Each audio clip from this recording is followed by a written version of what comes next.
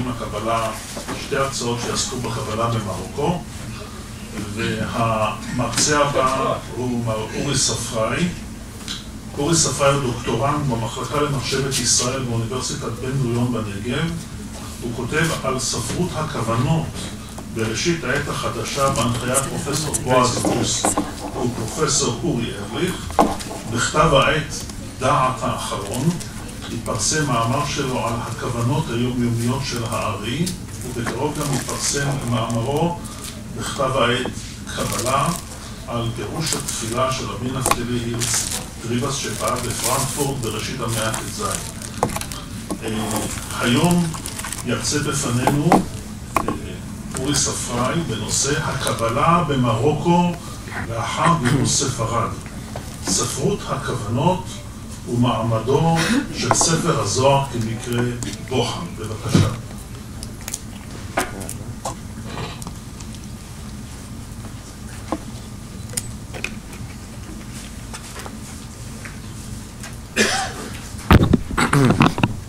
תודה רבה, בוקר טוב. על מקומה החשוב של צפון אפריקה בתולדות הקבלה מעיד במספר הקשרים רבי משה קורדוברו, מגדולי מקובלי צפת במאה ה-16. הכותב על ספר הזוהר שמצינו שבארץ דרא, שבמדינות המערב, היה עיקר מציאות הספר ומשם נתפשט אלינו. כך גם במקום אחר, בניתוחיו את הקשרים שבין הספירות השונות, הוא כותב, והוא עד אלינו שנמצא ספר ששמו ספר הצינורות, ובעוונותינו לא זכינו אליו, ואומרים שהוא נמצא אצל אחינו שבמדינת פאס. בהרצאתי היום אבקש להיכנס מעט אל מעבה היצירה הקבלית במרוקו בתקופה זו, ולהשוות בין, ש... בין שני פירושי תפילה שנתחברו באזור, באזור, באזור זה, וליתר דיוק בסביבות דרש בדרומה של מרוקו. ספר אחד, היכל הקודש של רבי משה בן מימון אלבז, וכתב יד ששון 921 האנונימי. רבי משה בן מימון אלבז פעל במחצית השנייה של המאה ה-16 במרוקו ועמד בראש חבורת מקובלים ביניהם רבי משה איפרגן, רבי יצחק הכהן ורבי יהודה חנין. אלבז עצמו חיבר מספר כתבים בקבלה אולם חיבורו המוכר ביותר הוא הספר היכל הקודש שהוא פירוש קבלי על סידור התפילה. כפי שהוא מאיר בהקדמה, הספר נכתב למין שנת ש"לה 1575 בטרודנט שבמרוקו ועד לשנת משיח 1598 בכפר עכא הסמוך, אליו הוא הגיע בעקבות מגפות ורדיפות. בהקדמה לחיבורו, אלבז מציין את המניעים לכתיבה ואת המקורות שמהם הוא ליקט. זה קטע קצת ארוך, אני אקריא אותו ברשותכם. וכאשר ראיתי, אני המחבר, זה העניין בגודל חיובו לעסוק בכוונות התפילה, עזרתי כוח לעשות חיל, לחבר הספר הקדוש הזה, ההולך דרך המלך, לבאר סודות התפילות, גם סוד המצוות התלויות בתפילות. כי מחברי פירושי התפילות, זיכרונם לברכה, דרכו דרך התורה הקדושה, להראות הנגלה ולהסתיר הנסתר. וחיברתי אני זה הספר לגלות מעט מהנסתר מכוונות התפילות. ושמחתי בזה על ספר הקדוש המפורסם, ספר הזוהר, אשר כל החיבור הזה ממנו נלקט ועל סביבותיו סובב. ואיני אלא כמעתיק מספר קדמון לכותבו על נייר חדש.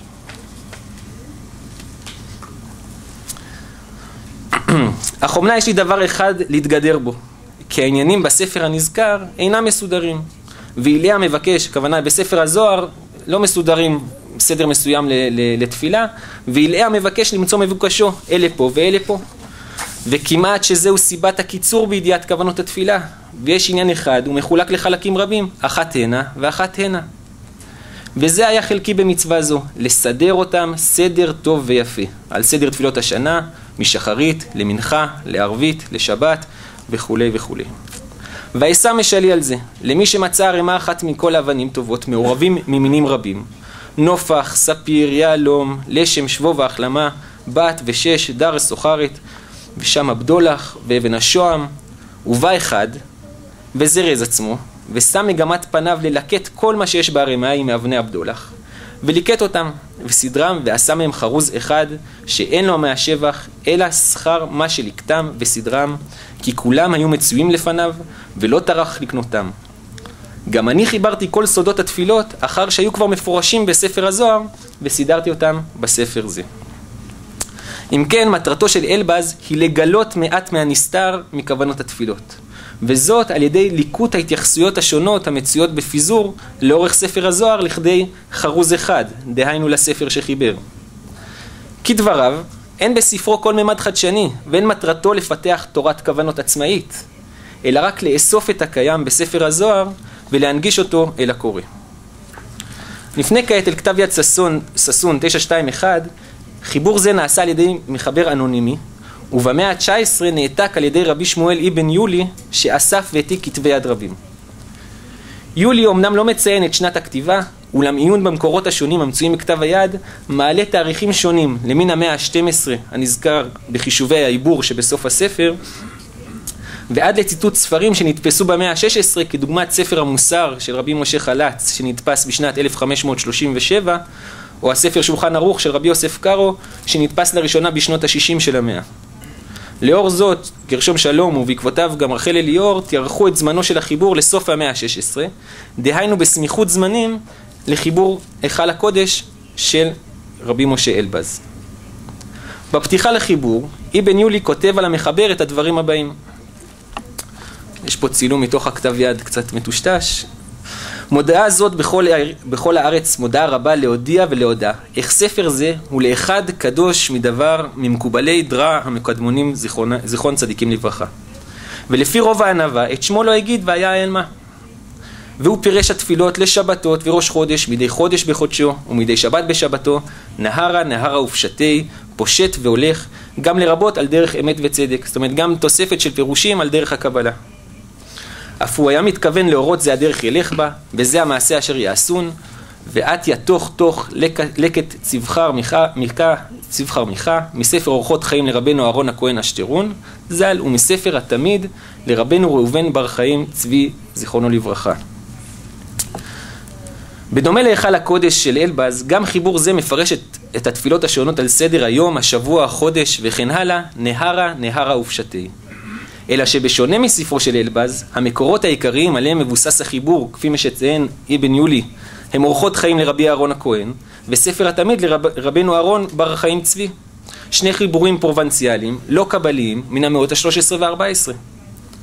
מעניין לחשוב מדוע דווקא חיבורים אלה מצויים ביסודו של חיבור צפון אפריקאי, ואיך התגלגלו הכתבים הללו למרוקו, ונקלטו בסביבה זו. אבל לעצם העניין, חשוב לשים לב לכך שבשונה מאלבז, ספר הזוהר לא נזכר כאן כספר יסוד שממנו, שממנו נלקט החיבור.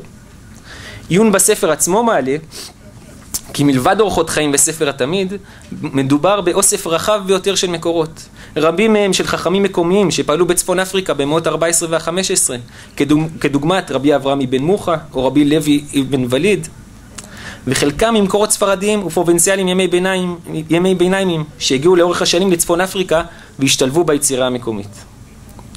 כפי שהראתה רחל אליאור במאמרה על מקובלי דרע, כתב יד ששון מצטרף לעוד מספר כתבים שנכתבו בסביבה זו ובעלי מאפיינים דומים, כדוגמת ספר המלכות של רבי דוד הלוי, מעיינות החוכמה לרבי מרדכי בוזגלו או כתב יד ששון 919. אם כן, הן, הן היכל הקודש והן כתב יד ששון, ששון הם חיבורים העוסקים בפרשנות לתפילה שנכתבו באותה תקופה ואולי גם באותו כפר, אבל עם חיתוך דיבור שונה לחלוטין.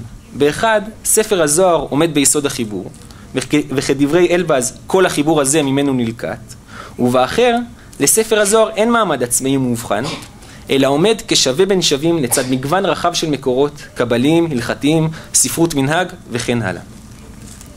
כיצד ניתן להסביר את הפער בין החיבורים השונים?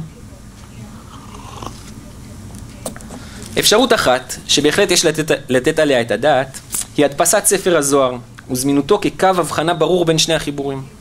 בעוד שאלבז ככל הנראה הכיר את הזוהר הנתפס, ההפניות שלו הם לדפוס, ותלמידו, רבי יעקב איפרגן, אף דן בטעויות הקיימות בדפוס. הרי שמחבר כתב יד ששון, ככל הנראה לא הכיר את, את מהדורות הדפוס, בציטוטיו ומתוך כתבי היד שהיו ברשותו. וכאמור לעיל בדברי רמ"ק, ככל הנראה גם היו מצויים לרוב בסביבה זו. אלא שהדפוס כשלעצמו אינו מהווה מענה מספק, שכן כתבים קבליים רבים נוספים נתפס, נתפסו בתקופה זו, כדוגמת כתבי רקנטי, שערי הוראה, מערכת האלוהות וכן הלאה. ואם כן, ואם כן, מדוע דווקא ספר הזוהר זכה למעמד מובחן שכזה בספרו של אלבז? לשם כך, ברצוני להצביע על תופעה רחבה הרבה יותר המצויה בעולם הקבלי בתקופה זו, כששאלת מעמדו ומקומו של הזוהר עולה במקומות רבים ומגוונים, בעיקר בכל הנוגע לפרשנות התפילה ולמתן טעמי מצוות על דרך הקבלה. המאה ה-16 ידועה כתקופה של פריחה קבלית בכלל ושל כתיבת פירושי תפילה, או מה שניתן לכנות ספרי כוונות, בפרט. בכל מקום בו ישנה פעילות קבלית, אפשר למצוא גם פרשנות קבלית לתפילה. בדומה להיכל הקודש וכתב יד ששון שנזכרו לאל, חיבורים אלה לא מכילים חידושים מפליגים, אלא הם מתאפיינים בעיקר באיסוף ובליקוט של ספרות סוד העוסקת בתפילה וסידורה ועריכתה על רצף התפילה באופן שיתאים לסידורים המצויים. כן, גם פה אני חושב לדפוס יש משמעות אה, גדולה, מתחילים להדפיס סידורי תפילה וממילא מתחילים להדפיס גם פרשנות נלווית אליהם. כך למשל, רבי נפתלי הירץ טריבס, שהיה חזן בקהילת פרנקפורט בראשית המאה ה-16, חיבר פירוש על התפילה בשם דקדוקי תפילה, או בשמו המוכר יותר מלא הארץ דעה, שנתפס על ידי שני בניו בטיהגן בשנת 1560. בהקדמה לחיבור הוא מציין את הספרים שמהם הוא ליקט. את חוצני ניערתי בהתנצלותי על כל מה שברא אותי, לאסוף ולכנוס ותיראה מקום אחד, מה שתעלה מצודתי וזרעתיה בארץ החיים. ודונו דיני לכף זכות, באשר הורני החיוב לפשפש באלקוט שלי, כן, הוא מחפש במקורות שיש אצלו, בחלוקי אבניה הבונים חורבות למו. הלא תמצאו דבריי מורים ומגידים מקומם, ומבטן מי יצאו. בזוכרי בעלי הלשון, עמודי הקבלה, רוקח, רמב"ן, רקנטי, ציוני, גינת אגוז, שערי אורה, שערי צדק, אוצר הכבוד, כתר שם טוב, רבינו בחיי, צרור המור של רבי אברהם סבא, ממגורשי ספרד. ויתר המקובלים נעלמים, נעלמים לי בשמם, בשמם, הלא הם כתובים למלכי מוראי ופרס. וזה חסדך אשר תעשה, כל מקום אשר יסתירו דבריי ולבך מהסס עליהם, אמרי לי אחי הוא הרקנת. כן, הירץ כותב בשפה נורא מליצית, משולבת עם המון ציטוטים מפסוקים, אבל בכל אופן, המקורות המרכזיים שעליהם הוא מדבר, אה, אה, אותם הוא אוסף כן, זה, זה ממש מתאר כאן סוג של מסע לקטנות אל מקום אחד, אל אותו, אותה אונתולוגיה גדולה שחיבר. ובכלל זה מסורות, מצויות מסורות, מסורות אשכנזיות, ובראשן הרוקח, לצד מסורות ספרדיות, כאשר מקום מרכזי ביותר הוא מעניק לרקנטי, שלטענתו עומד בבסיס פירושו. מבין המקורות שהירץ מציין, בולט בידרו ספר הזוהר, שאינו נזכר כלל בתוך רשימת המקורות. כך גם לאורך החיבור עצמו, במקומות הבודדים בהם הזוהר כן נזכר, אלה הם ציטוטים של הזוהר המובאים אצל רקנטי. ומכאן שככל הנראה, הירץ לא הכיר כלל את ספר הזוהר כחיבור עצמאי. תופעה דומה מצויה גם בחיבורים איטלקיים בני הזמן, כמו ספר מכבי של רבי יעקב ישראל פינצי מרקנטי, ובו פרשנות מקיפה על סדר התפילה.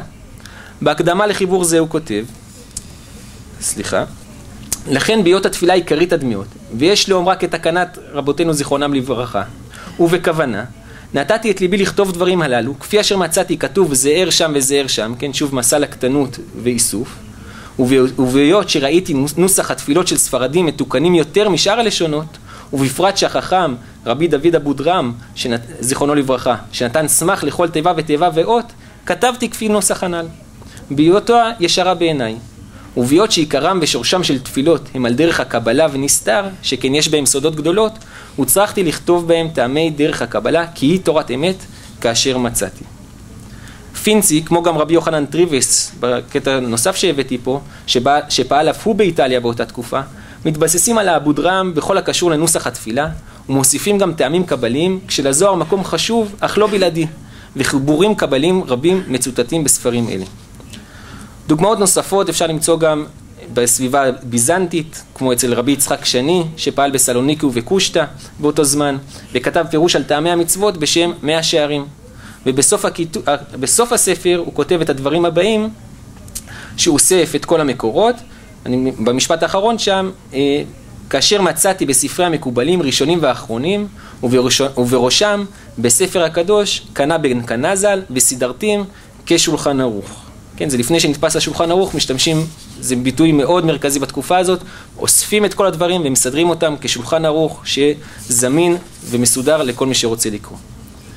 אם כן, במגוון חיבורים העוסקים בפרשנות התפילה ובטעמי המצוות על פי הקבלה, אשר נתחברו על ידי מקובלים מקומיים, דהיינו בארצות מוצאם, אם זה שני באזור בבלקן, אם זה פינצי באיטליה וכולי וכולי, ניתן לזהות מגמה רחבה של הקטנות, מתוך מגוון רחב של מקורות. כדוגמת רקנטי, רבי יוסף ג'יקטיליה, ספר הקנה ואחרים, בעוד שספר הזוהר זוכה למעמד משני ולעיתים אף לא מוכר כלל. אל מול מגמת הלקטנות הענפה והמגוונת המצויה במקורות שנזכרו לעיל, בולטת במיוחד פעולתם הספרותית של המקובלים אשר מוצאם מספרד. מקובלים אלה שותפים אף הם לאותה פעילות לקטנית ענפה, אלא שבמקום מגוון רחב של מקומות, מקורות, המאמץ הלקטני שלהם מתמקד אך ורק בספר הזוהר. כך למשל כותב רבי מאיר אבן גבאי בהקדמה לפירושו על התפילה, תולעת יעקב. אני הצעיר באלפי, מאיר בר יחזקאל בן גבאי הספרדי, זיכרונו לברכה, ראיתי לדחות להיכנס לפנים ממחיצתי, ללקוט שיבולים מאחורי הקוצ... הקוצרים שדה של תפוחים, ולדרוך בדרכי הראשונים, ולהעלות על ספר מה שיזמין לידי הצור ברוך הוא מסתרי התפילות וטעמיהם, ואקבץ נדחיהם ואחבריהם אחד לאחד, כן שוב, איסוף לכדי ספר אחד, עד שיהיו לאחדים בידי, והאשל הגדול אשר עליו תליתי עצמי באלה הדברים, הוא הספר המפורסם אצל חכמי ישראל האמיתיים, מדרשו של רשב"י עליו השלום, אשר הוא מגלה סתרי תורה ביד רמה. כי איני אלא מעתיק מספר אל ספר וממגילה אל מגילה. כן, שוב, אני לא מחדש שום דבר, אני רק אוסף, אבל מאיפה אני אוסף? מתוך מדרשו של רשב"י. כך גם ספרי כוונות נוספים של מגורשי ספרד, כדוגמת פירוש התפילות של רבי יוסף אבן שרגא, אה, או ספר הכוונות האבוד של רבי אברהם סבא, מבוססים גם הם באופן בלעדי על ספרות הזוהר. מקובל ספרדי נוסף, רבי חיים עובדיה דיבושל, כותב בהקדמה לחיבורו באר מים חיים, את הדברים הבאים, ובזה החיבור הקטון שעיקרו בעיון הדברים המשלימים נפש האדם, כן, זה ספר אה, מוסר על דרך הקבלה, ומאיפה הוא מלקט את הדברים האלה, וללקוט שושנים משושני רשב"י עליו השלום, כן, זאת אומרת גם רבי חיים עובדיה, מאיפה הוא בוחר ללקט? מתוך אה, שושני רשב"י, מתוך ספר הזוהר. לאלה אפשר לצרף גם את רבי משה חלץ, שהבאתי פה עוד קטע שלו, גם הוא מצטט מתוך הזוהר, או רבי יהודה חייט, בפירושו למערכת האלוהות, המבוסס לחלוטין על הספרות הזוהרית. כך גם הפירוש המקיף הראשון לזוהר, כתם פז, נכתב על ידי, על ידי רבי שמעון אבן נביא, ממגורשי ספרד שהגיע לצפון אפריקה. לאור זאת, אני מבקש, מה שרציתי לעשות כאן זה להראות שתי, תמונות, שתי, שתי חלוקות, או חלוקה לשתי קבוצות מרכזיות שיש בתקופה הזאת, בין יוצאי ספרד שם לספר הזוהר ולרשב"י מעמד מיוחד, לעומת שאר המקובלים שפועלים כל אחד בארץ ש, ש, שבה הוא נמצא, שהיצירה שלהם אה, אה, מורכבת מלקט אה, מגוון ורחב של מקורות, שאותם הם אוספים אל תוך הספר שלהם. אז מכאן אני מבקש לשוב ולהתבונן בשני החיבורים הצפון אפריקאים שתוארו קודם לכן. בעוד שכתב יד ששון, ששון 921 ממשיך את המגמה של אותם מקובלים מקומיים, בשילוב של מגוון מקורות לצד מסורות מקומיות, הרי שהיכל הקודש של אלבז זהה לחלוטין למגמות של מגורשי ספרד. כן, והבאתי פה את, ה, את השתי קטעים שהבאתי קודם, אבל ממש בהשוואה, את הקטע, של, אה, אה, את הקטע מהקדמה של, של אלבז לבין רבי מאירי בן גבאי, אפשר לראות איך ממש זה כמעט אותו נוסח, כמעט אותו, אותו, אותם דיבורים, מעתיק מספר לספר, או כמעתיק מספר קדמון לכותבו על נייר חדש. מאיפה אוספים? מרשב"י. לאור זאת, אני מבקש להציע כי היחס בין החיבורים לא קשור בהכרח להדפסת הזוהר, אלא נובע בעיקר משאלת הזיקה של מחברים אלה למגורשי ספרד וליצירתם. המתח שבין קבלה לדחייה ביחסם של הקהילות המקומיות אל מגורשי ספרד, מצוי בתקופה זו בכל המקומות אליהם הגיעו המגורשים. כששאלות של נוסח תפילה ומנהג היוו, היוו פעמים רבות מקור לתסיסה, ולוויכוח. כפי שעולה משאלה שהופנתה למהרשד"ם בסלוניקי, כי כמעט נתהפך כל העולם לסדר תפילת ספרד, וכעת הם פונים אל, ה, אל הפוסקים שיגידו מה לעשות, כולם פה משתנים, כולם פה עוברים להיות ספרדים פתאום. תופעות אלה מצויות גם במרוקו, כשדוגמה בולטת לעניין זה היא הוויכוח בין המגורשים לתושבים על דיני הנפיחה בהלכות שחיטה, שאירע הן במרקש והן בפאס. כאשר בפאס העניינים הגיעו אף לאלימות ולהלשנה לשלטונות, עד שלבסוף השתלטו המגורשים לחלוטין על עמדות המפתח בקהילה המקומית. כן, זה, יש את זה בספר עץ חיים לרבי אה, חיים גג, גגין, ששם אה, ממש תיעוד של הדברים האלה. לעומת זאת במרק, במרקש לא הצליחו המגורשים לחוף את עמדתם ולשנות את המנהג המקומי, וידם של התושבים הייתה על, על העליונה. בהקשרים אלה, כפי שהראה מורי פרופסור בועז הוס, לקבלה הספרדית, ובמיוחד לספר הזוהר, תפקיד משמעותי בהעלאת קרנם של יוצאי ספרד על פני יתר הקהילות ולהנחלת המסורת הספרדית, שכן רשב"י עצמו זוהה כבעל מאפיינים ספרדיים מובהקים. כך למשל מנמק רמק את בחירתו לפרש את הסידור על פי נוסח ספרד, שמנהגם יותר נוטה לדברי הרשב"י עליו השלום. לעניין זה גם משמעויות הלכתיות עליו עמדו במחקר, כשש... כאשר שמו של רשב"י גויס לא פעם בכדי לחזק את מנהגם של יוצאי ספרד אל מול הקהילות המקומיות. תופעות שכאלה מצויות גם אצל אלבז עצמו במספר מקומות שלא נוכל להדגים כאן. אם כן, ואני מסכם, שני פירושי תפילה שחוברו במרוקו בתקופה זו משקפים אולי שתי מגמות דומיננטיות המצויות בעולם הקבלה לאחר הגירוש. בעוד שכתב יד ששון משקף את ההמשכיות, דהיינו את היצירה המקומית ואת הלך הרוח שקדם לגירוש ולהשפעתה של המקובלים שהביאו עמם, להשפעה של, הק... של הקבלה שהביאו עמם המגורשים, היכל הקודש הוא כבר ביטוי לתמורה ולמציאות החדשה ולהשפעה העמוקה של מגורשי ספרד על היצירה המקומית, עד לכדי אימוץ מלא של סגנון הכתיבה והעמדת הזוהר כמוקד היצירה. במובן זה, שני החיבורים מספקים לנו חצ... חלון הצצה מיוחד להתבונן דרכם אל ההתרחשויות והדינמיקה בקבלה של יהדות מרוקו בתקופה זו שלאחר הגירוש, בקליטת יהודי ספרד באזורים השונים. תודה רבה. תודה רבה לך, אוריאל, הרצאתך המרתקת. אה, יש לנו כמה דקות לשאלות. כן, אבישי. תודה, אה, תודה. רציתי לשאול אותך על האפשרות שבעצם חיבורים, בוא ניקח את ששון 921, לא את היכל הקודש, בעצם מהווים שער, שער לספרות הזוהר. זאת אומרת, אנחנו לא יודעים כל כך הרבה על, על, כתב, על המוצא של כתב היד הזה, מה היה לפני בניהולי, ואיך נראה החיבור הזה במקור, והאם הוא היה ספר. אבל יכול להיות שמה שקורה שם זה שהמחבר המקורי רוצה להציג בפני עצמו, בפני הקהל שלו, הקהל הקטן שלו, הצצה לתוך ספרות שהוא מכיר אותה לראשונה, מתוך ספר הזוהר, והוא מתלהב ממנה לפעמים ממקור שני, והמקרה של ספר המוסר הוא מעניין, זאת שספר המוסר, צריך לזכור, של, של יהודה חלס, אין בו שום, אין בו זוהר. ואז בא משה חלס ואומר, ספר, ספר המוסר המקורי הוא בעצם גניבה ספרותית, מספר מוקדם, כן. מנורת המאור. ואז מגיע משה חלס, האחיין או, או הבן, או הנכד, כן? או הנכד, ורוצה להשלים, ויכול להיות שזה מלמד הרבה, זאת אומרת, נתקלים לראשונה במדרשים יפים, מדרשות יפים בספר הזוהר, כן. מעתיקים אותם ביד רחבה ורוצים להציג אותם לקורא מתוך איזושהי התלהבות, וזה בולט גם ב-2.1, שהעתקות מהזוהר הן מאוד מאוד ארוכות ולא כל כך ממוקדות. כן. אולי מתוך רצון לשמר, כן. ולהפיץ את הדבר היפה הזה. סליחה, יש כאן בקשה מהתרגום, שמי ששואל שאלה, הוא יכול לחזור לזה, כדי שיוכלו לתרגם גם את השאלה. יש פה הנחה שאני זוכר את השאלה.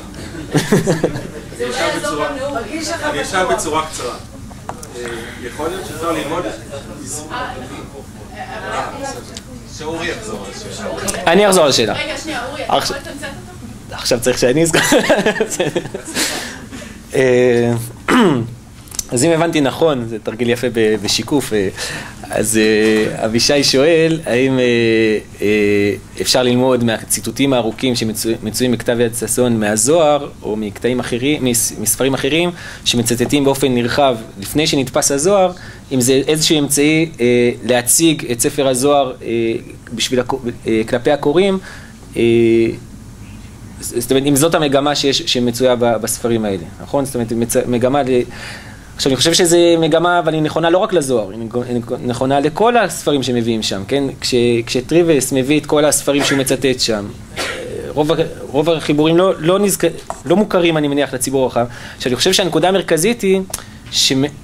כמו בחלאס, מה, מה הוא מכניס שם, איזה, איזה ציטוטים הוא מכניס מתוך הזוהר, באיזה הקשר, כמו שהוא כותב גם בהקדמה, כולם בהקשרים של תפילה ומנהג.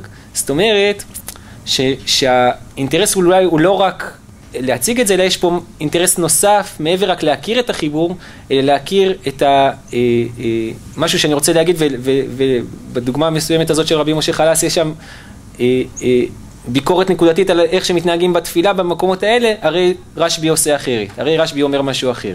עכשיו, בכתב עת ששון, לא ראיתי את זה בצורה כל כך חדה, ש...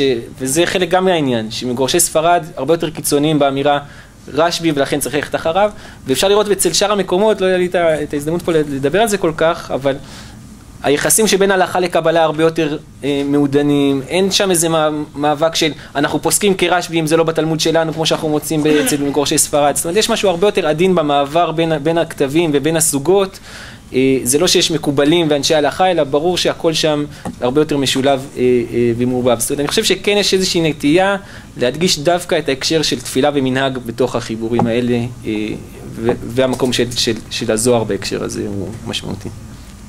כן.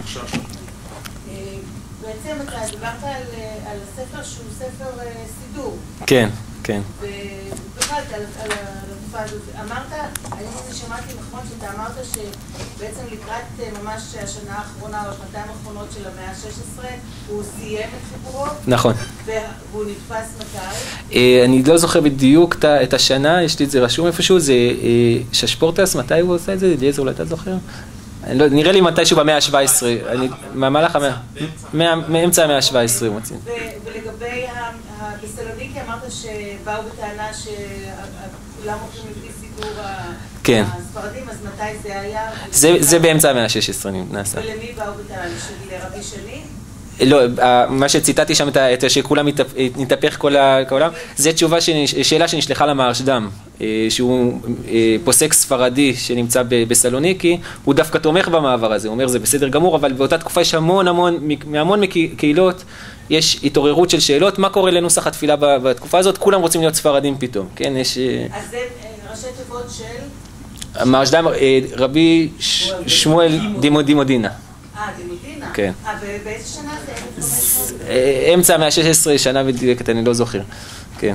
אבל זה קטע מרתק, הסיפור הזה שכולם רוצים להיות ספרדים, יש אה, קטע, שאלה מרת... נורא מעניינת של תלמיד של הארי, רבי יוסף אבן טבול, ששולחים שאלה לצפת ואומרים לו, ושולחים לשם אה, שאלה, פתאום הוא קורא לעצמו ספרדי, רבי יוסף אבן טבול. מה פתאום הוא קורא לעצמו ספרדי, ורבי חיים ויטל אה, והרב, לא זוכר את השם הפרטי, אוחנה, עונים שם, מה פתאום הוא עושה את זה, לוקח לו כבוד שאינו שלו, מה פתאום הוא מבקש להפוך את עצמו לספרדי, זה, זה זאת אומרת... זה באמצע המאה ה-16. זה באמצע המאה ה-16, לקראת סופה. אחד מתלמידיו, בסוף, זה כבר סוף המאה ה-16, אחד מתלמידיו, אחד מתלמידיו של הארי מגיע למצרים, ושם הוא מצטרף לקהילה הספרדית שבקהיר, ובאים ובתלונה, מה פתאום הוא, הוא הופך, קורא לעצמו פתאום ספרדי, כן? זה חלק מהעניין ש... טוב, תשמע, זה יפה מאוד שהיה עידן שכולם רצו להיות ספרדים. על טבץ 921. כן. החיבור, מה, הציעו פשר למה הוא דווקא שני חיבורים פרובנציאליים. אם אני לא טועה, הישתרון הוא בעצם ספרדית של וילוני.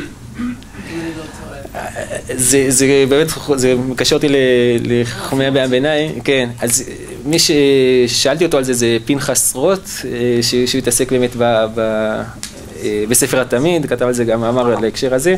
אה, אז הוא אומר שיש, אם אני זוכר נכון, יש איזו תחנת מעבר משמעותית אה, בדרום ספרד, או אני לא זוכר בדיוק כרגע את, את המקום, כמו שהריבש גם עובר דרך שם, זאת אומרת יש איזשהו, איזשהו מעבר ידע מהאזורים האלה למרוקו, אבל זו שאלה שאני לא מספיק זוכר למה דווקא החיבורים האלה, זה באמת, באמת מעניין, מה פתאום שני ספר, ספרים מפרובנס מהווים ספר, בסיס לספר, לספר תפילה בצפון אפריקה, אני לא מספיק יודע את התשובה שלנו.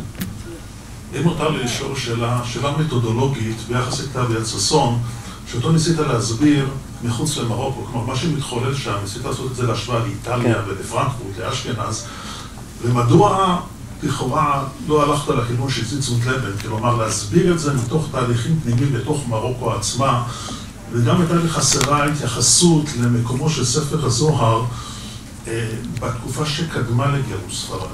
הרי סך הכל גם יש, יש לנו גם ידיעות של ספר הזוהר, הוא בא ממרוקו, כלומר, הגיע למרוקו כבר במאה ה-14, אז מדוע אתה לא פה תהליכים פנימיים במקום של הזוהר בתוך מרוקו, כן. ואתה גם מנסה להסביר כתב את ששון במקומות מחוץ למרוקו ולא כתהליכים פנימיים בתוך הקבלה במרוקו. אוקיי, אז תודה על השאלה. אה, השאלה המתודולוגית היא באמת איך שאני עבדתי, אני עבדתי על ספרי כוונות באזורים אחרים וראיתי את התופעה הזאת שם.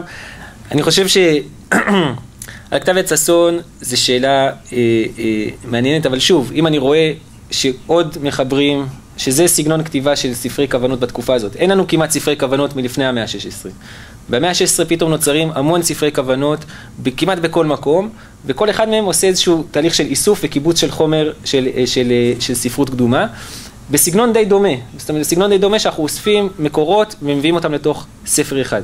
אני מסכים איתך שאני חושב שצריך לשאול מה מיוחד בכתב יד ששון משאר הספרים, למה, מה יש שם, איזה, איזה ציטוטים יש שם, החיבור לפרובנס המשמעותי, הח, הדמויות הצפון אפריקאיות שמסתובבות שם, רחל אליאור כתבה על זה באמת במאמר שלה החשוב על, על מקובלי דרעה, אבל בכל אופן זה, זה, זה, בהחלט שיש שם התפתחויות פנימיות ומסורות מקומיות חשובות ומשמעותיות, קבלת שבת המעניינת שיש שם, כל מיני, כל מיני מנהגים שאנחנו יודעים דרך, דרך, דרך החיבור הזה. על, על אלבז לעומת זאת אני חושב, שוב לא היה לי כאן את המקום להראות את זה, אני חושב שהוא הכיר את היצירה הספרדית, אני חושב שהוא הכיר אותה, הוא היה מושפע ממנה, אני חושב, שוב, הציטוטים, אני חושב שהוא הכיר לפחות את, את, את אבן גבאי, אם לא את, את מגורשי ספרד שהגיעו לאזור, לאזור הזה עצמו, כמו רבי אברהם סבא או, אה, אה, או לביא, לא יודע את מי בדיוק, אם הוא הכיר אותם בפועל, אבל את הכתבים, אני חושב שיש שם, אה, הסגנון הכתיבה, ולכן אני חושב שזה, שזה הנקודה המשמעותית, הדרך שבה כותבים ספר כוונות, כשאתה לוקח את ספר הזוהר ומעמיד אותו כספר, כספר ייחודי, זה כן מיוחד שם, כי דווקא בכתיבה בצפון אפריקה, ספר המלכות ומעיינות חוכמה, אנחנו לא רואים שם את ספר הזוהר כמשהו שהוא, בשונה ממה שרמק אולי רוצה לספר לנו על, על צפון אפריקה, אנחנו לא רואים את ספר הזוהר כספר שהוא המיוחד וה, והבלעדי שיש לנו שם. איפה אנחנו רואים שספר הזוהר מיוחד? זה רק אצל מי שיוצא מספרד ומביא איתו, מנפנף ככה ברשב"י כמי שהוא מזוהה איתו והוא מביא את המסורת הספרדית. אני שוב מודה לך על הדברים, על הפתחים שנפתחו בעקבות הרצאתך. תודה רבה לך. אורי. ואל הדובר השלישי והאחרון